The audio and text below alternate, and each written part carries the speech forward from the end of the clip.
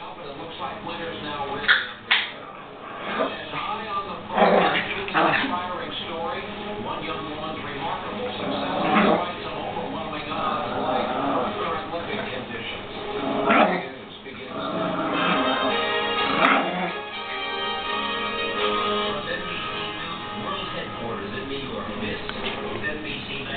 are you kids doing?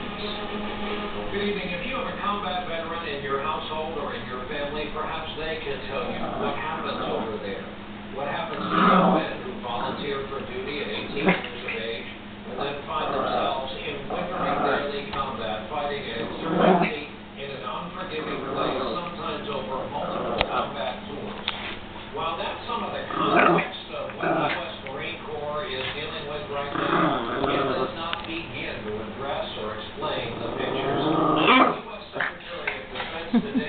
What's the matter, Peanut?